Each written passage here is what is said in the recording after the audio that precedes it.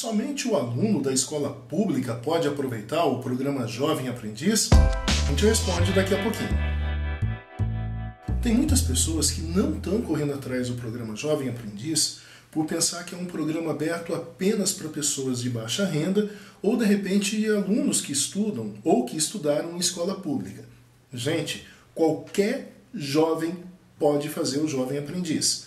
Pode ser alguém com uma renda alta, com uma renda, renda baixa, pode ser alguém que estudou em escola pública ou que estudou em escola particular, é, enfim, qualquer jovem que atendeu os requisitos de estar tá entre 14 e 24 anos incompletos pode fazer o jovem aprendiz.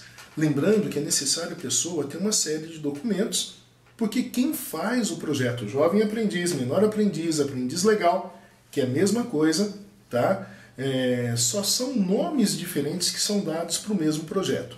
É, mas enfim, vamos utilizar o termo jovem aprendiz.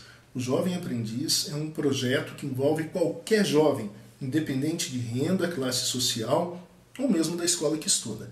A única coisa é, quem estuda ou quem já estudou não está automaticamente cadastrado para fazer parte do programa Jovem Aprendiz.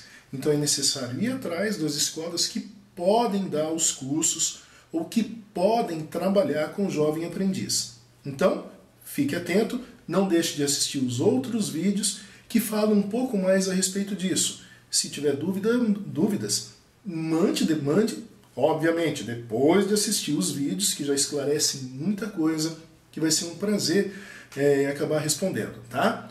Um abraço a todos, aproveite a oportunidade, a oportunidade e a gente se fala.